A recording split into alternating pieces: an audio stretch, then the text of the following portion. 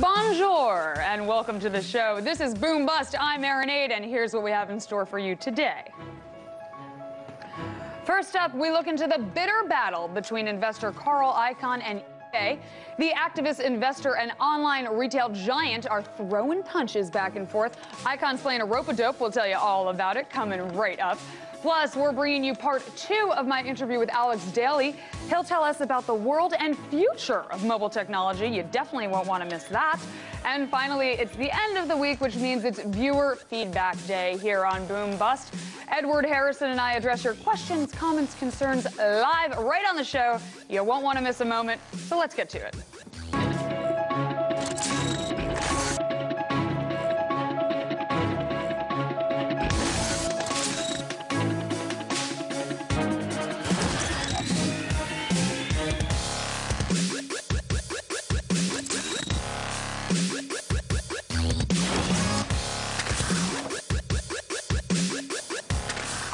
Story today the bitter battle between activist investor Carl Icahn and the online auction site eBay.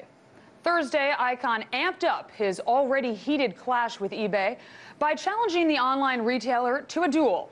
True story.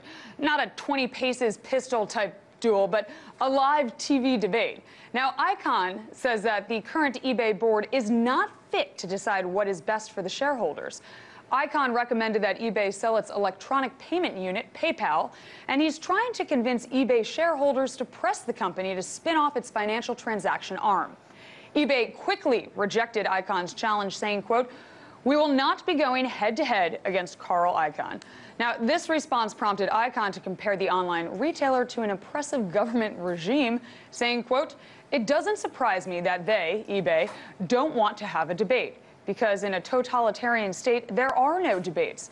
What they don't seem to realize is that, unlike in a totalitarian state, there are people, shareholders, that can answer back. Now, Icahn says eBay director Scott Cook shouldn't be on the board of the $75 billion company because Cook is also founder and chairman of Intuit. Intuit has a relationship with payment processing startup Square, which directly competes with PayPal. Now, Icahn also criticized venture capitalist Marc Andreessen for profiting off discarded eBay assets, including the online voice company Skype. I like Skype. Now, on Thursday, eBay brought out the big, big guns founder and chairman Pierre Omidyar, who famously became a billionaire at age 31 when eBay went public back in 1998. Pierre rejected Icahn's request to split off PayPal and said he stands by Andreessen and Cook. And I mean, he would say that. Andreessen and Cook and Pierre, they're all icons of Silicon Valley. They're greatly respected and admired, and they probably truly believe that they haven't done anything, anything unethical or anything wrong. But this sort of wheeling and dealing is common in the tech world. And when the technology industry was still in its infancy, people actually turned a blind eye to these kinds of conflicts of interest when it came to corporate governance. But that was back then. Now, however, internet companies are an important part of the global economy. Companies in this sector have larger market caps than traditional blue chip companies, and they rake in billions in IPOs. So maybe Carl Icahn has a point. Companies this important should be extolled rather than condemned.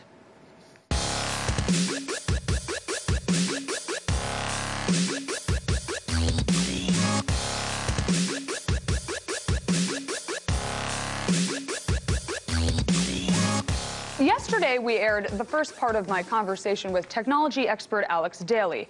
Now, he's a senior editor at Casey Research, and today is part two of that interview. And we want to talk to Alex about mobile, as this is an increasingly focus and the focal point for many tech companies, specifically the cloud technology.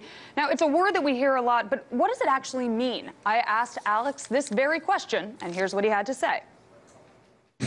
Well, the cloud is this idea that storing your documents and your data up in the internet as opposed to keeping it locally provides you with more convenience and maybe more security, though there are a lot of questions about that floating around today on the security side uh, with Bitcoin and everything that's happening. I think the convenience of the cloud is no doubt. You see these companies like Box.com, uh, Dropbox, and you see Google with Drive, Microsoft with its SkyDrive, which has now been renamed to OneDrive. The idea that we can manage and own all users' data in the cloud means that they can use three, four, five, ten devices simultaneously and still have access to all of their stuff, their music, their documents, their videos. Uh, it's very convenient for consumers, and it's really driven the tablet movement and the smartphone movement by providing us with access to our documents on both sides. So I think the cloud is a natural underpinning to an increase in mobility, this continued move to smaller devices and lots of different form factors. What about the concern, though, of security? Yeah, security is definitely a big concern in the cloud. One of the things you have to ask yourself is, you know, are you content keeping data in a place where the systems administrators of a company can get to it, where uh, hackers can get to it, where it can be intercepted in transit? Companies take this security threat really, really seriously, but we've already seen some very, very big hacks. We saw problems with uh, Dropbox early on, where there was a hack that allowed people to enter basically any Dropbox account and read any of their data. The company now assures us that, that that's been patched, but then again, they assured us that they were secure before that happened.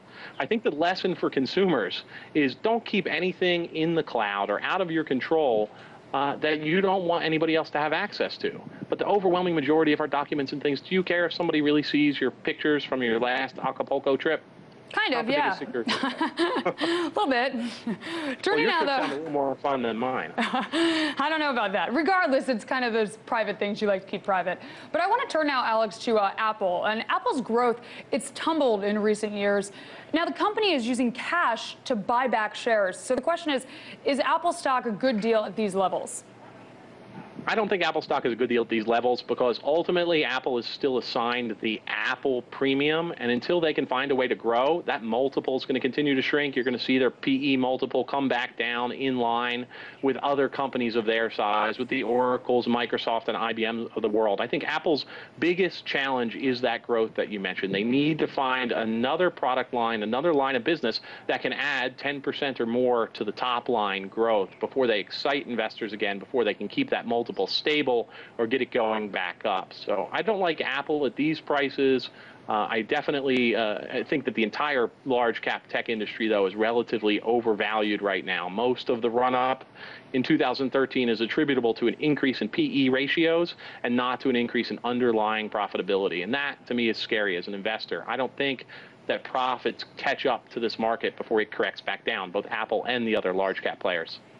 Alex, in your opinion, strategically, what do you think is the best move for Apple from here in order to best leverage its existing mobile presence? If I, if I knew what the best strategic move was for Apple, I'd be CEO of the company probably. what I can tell you is the opportunities they've yet to capture include China, and India. They don't have enough presence in either of those markets, and they are making moves into them. But ultimately, it's going to take a new product, and that's why I say I can't predict what that is. It's going to take a new product line. When Microsoft had a top-line growth problem in the late 1990s and early 2000s, when Windows really tapered off, they got into new businesses. They got into servers. Servers is now a bigger business than core Windows for them. They've gotten into uh, a bunch of different uh, businesses. SharePoint is now a multi-billion dollar business for them. Microsoft has been able to grow grow lots of four and five billion dollar businesses and grow itself to 70 billion in revenue, Apple's got to ask itself the question: How does it move another 10 billion dollars in product? What is that business they're not in yet?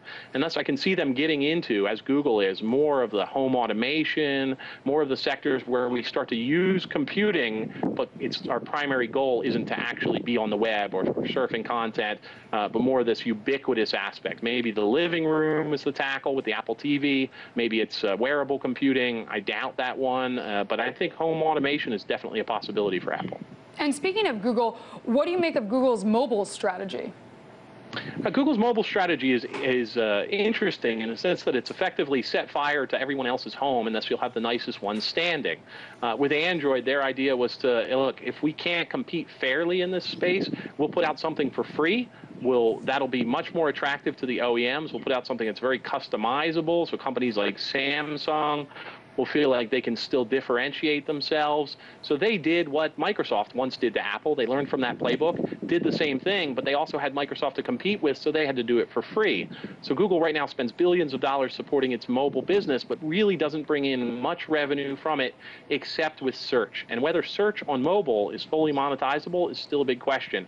To this day, Google has still spent more on its mobile strategy than it's managed to be, bring back in. But the alternative to that was to not do anything at all and to risk losing mobile devices to companies like Microsoft that could bring an operating system and a search engine to the party. And if they did that, they were just going to lose out on this market altogether. So I think they made the right investments, even if it's not cash flow accretive today. Okay. And uh, I also want to ask you, that's a good point there on uh, what you said about cash flow, but just this week, Nokia, they revealed a heavily customized version of Android for its new cheapy smartphone line, and they're designed specifically for emerging markets. And the phones were de-Googled, just like Amazon's tablets. Now, the question is, doesn't Android leave Google's mobile strategy open to this kind of platform hijacking? Absolutely. Uh, when they put it out as an open source project, I think they knew that was always a threat. They have this, this, this, underlying threat that someone can take the core Android.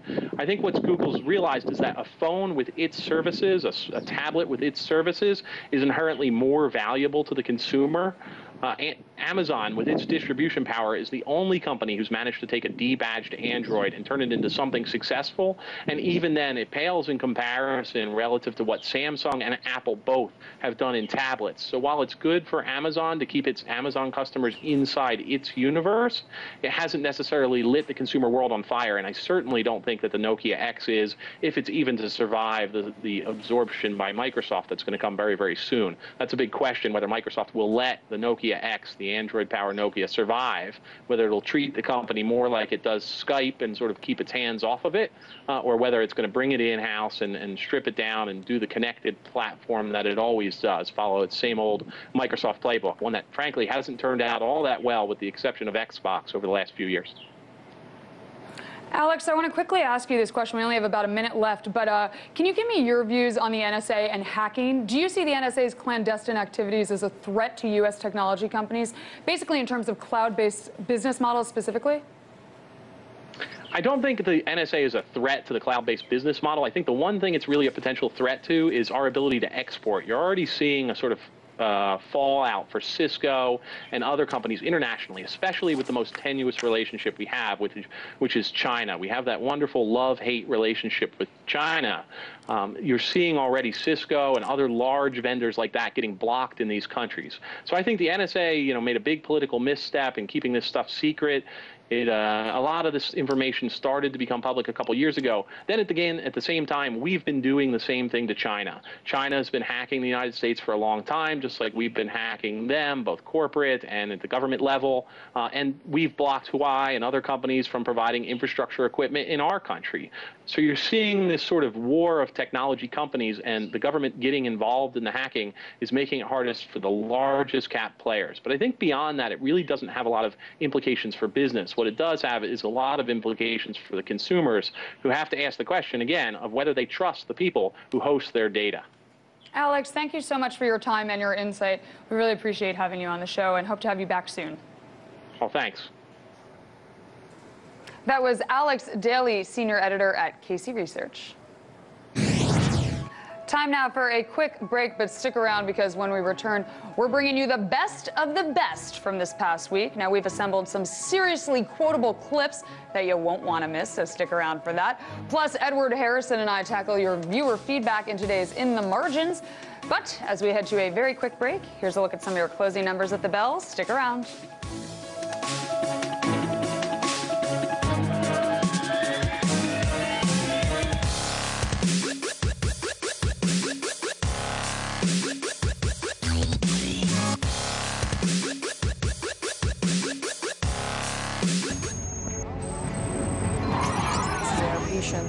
Patients are force-fed.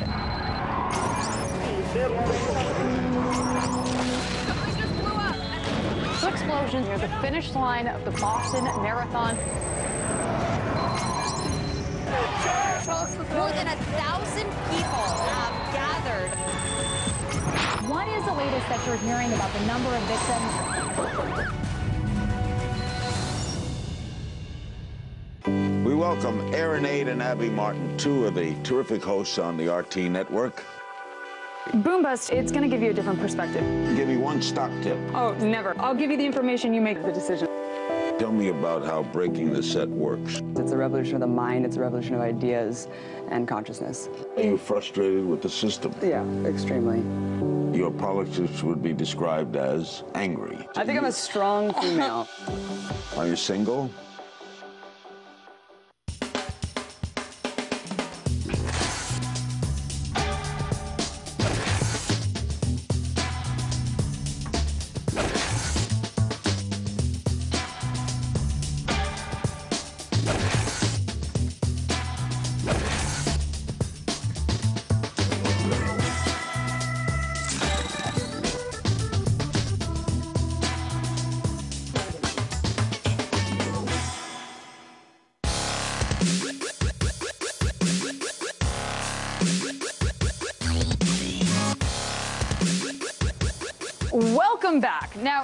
Past week, we had some great guests on our show. Axel Merk and Doug Casey said some pretty great stuff about the intersection of the real economy and monetary policy.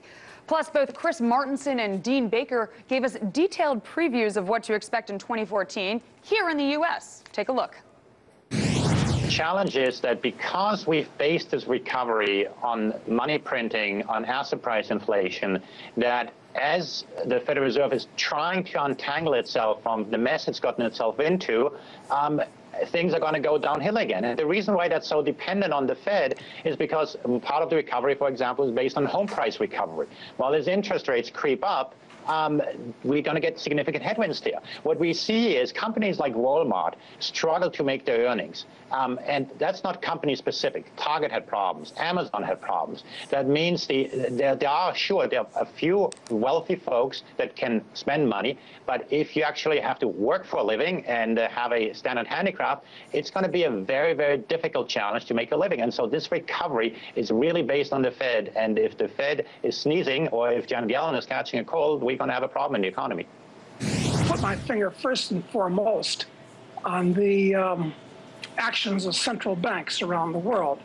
Uh, their reaction to any weakness in the economy is to print up more currency units. And this is happening all over the world in the United States, in Europe, in China, in Japan, and in all these minor countries as well. So, uh, what I expect to see, uh, even though we have some volatility now, it's nothing compared to what we're going to see uh, by the end of the year and certainly within a year or two. You're going to see much higher levels of inflation all around the world and uh, actual financial chaos, in my opinion. Wow. Now, there's been a bit of chatter about moving to safe haven assets. Is now the time to buy gold, in your opinion? Well, let's put it this way. Uh, there have been uh, two times in recent history when gold was not just a superb asset to hold, but a superb speculation. That was in 1971 when it was $35 an ounce. It subsequently went to 850. And in 2001 when it was about $250 an ounce, and it subsequently went to 1900. And I'd point out that in 2001 at 250, it was cheaper in real terms than it was in 1971 at $35. Okay, now that said, it's a little over 1300 now. Right. So it's not the giveaway bargain that it was 10 years ago, 12 years ago. But uh, the main reason you buy gold is because it's the only financial asset that's not simultaneously somebody else's liability. So that's the reason you buy gold today. It's a good speculation, not a one way speculation anymore. But yes, you should own gold. Everybody should own gold, a significant amount of gold.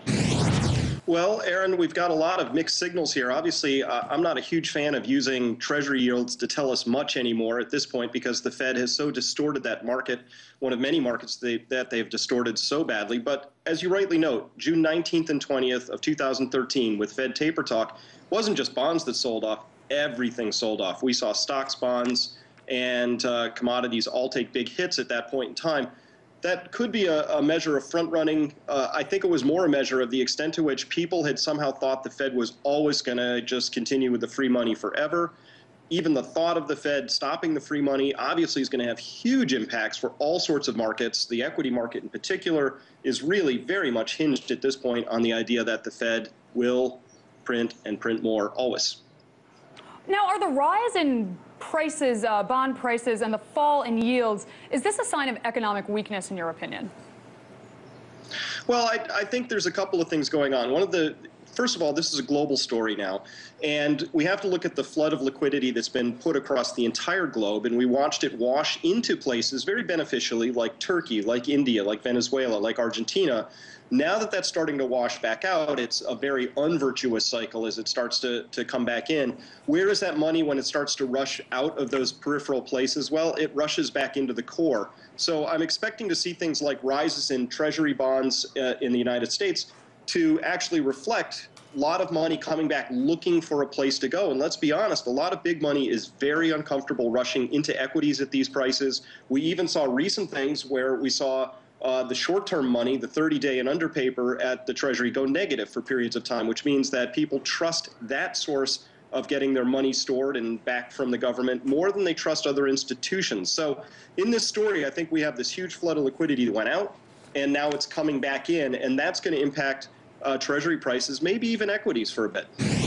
Well, there's two things going on. I think the main forces. First off, the, the growth in the second half of last year was inflated by inventory accumulations. We had very, very rapid paces of inventory accumulation. Mm -hmm. I don't think anyone could think that would be continued. So if you pull out the inventories, the growth was somewhere a little over 2%. So that's kind of the underlying growth rate. That's what you would expect it to fall back to once you have the adjustments.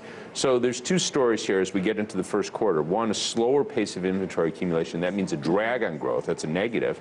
Second thing, weather.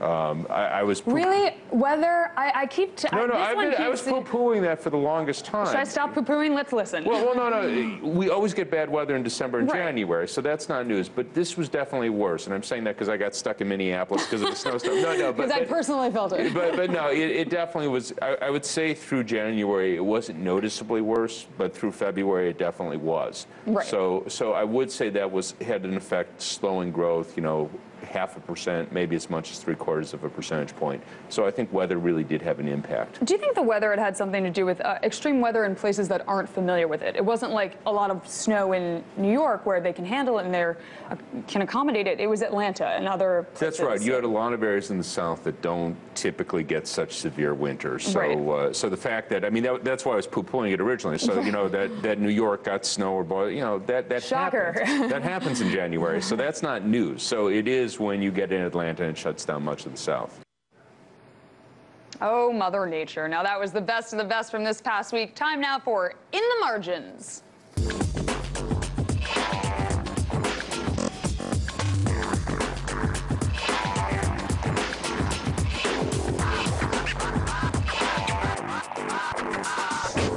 It's In the Margins time with dun, dun, dun, Edward Harrison.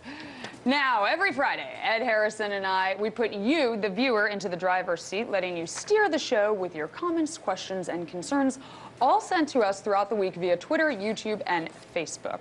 Now, the first comment that we have, it comes from Disco Pro Joe. Great name, by the way, Disco Pro Joe. He writes, or she, in response to Doug Casey's interview on Tuesday, Japan doesn't need Abenomics. It needs Austrian economics. Bear in mind that if wages fall while consumer prices are falling even faster, then real wages are rising. Now, two comments on that thread had responses. First was this direct response. It was from Trevor, Pickersgill, also a great name, who wrote, that has actually been happening in Japan for 15 years. Wages and income stagnated in the mid 1990s, while a combination of things caused steady price deflation.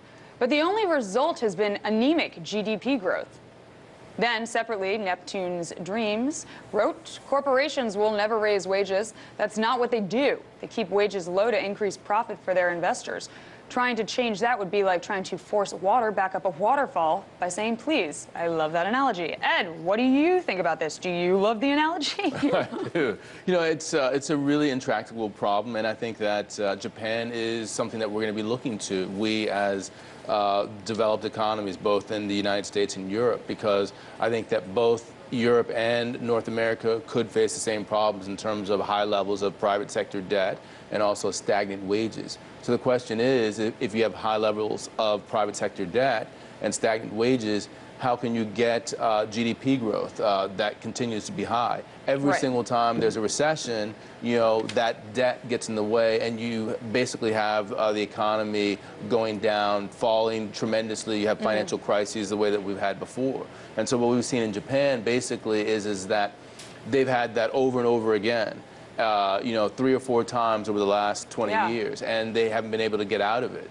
Uh, what I would say is, is, is that you're never going to get out of that trap, as, especially when uh, private sector debt is high, unless you move to full employment first. Because Okay. you're never going to get wage growth without full employment. There you go. We heard it here from Ed.